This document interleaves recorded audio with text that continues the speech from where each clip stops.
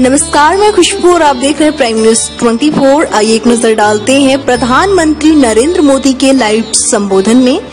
आज यह जय घोष सिर्फ़ सिया राम की नगरी में नहीं सुनाई दे रहा है, बल्कि इसकी गूंज पूरे विश्व भर में है। सभी देशवासियों को और विश्व भर में फैले करोड़ों भारत भक्तों को, राम भक्तों को आज के इस पवित्र अवसर पर कोटि कोटि बधाई। यह मेरा सौभाग्य है कि श्री राम जन्मभूमि तीर्थ ट्रस्ट क्षेत्र ने मुझे इस कार्यक्रम में आमंत्रित किया। इसके लिए मैं ट्रस्ट का आभार व्यक्त करता हूँ। वर्षों से टाट और टेंट के नीचे रह रहे हमारे राम लल्ला के लिए अब एक भव्य मंदिर का निर्माण होगा। टूटना और फिर उठ खड़ा होना, सदियों से चल रहे इस व्यक्तिक्रम से राम जन्मभूमि आज मुक्त हो गई है।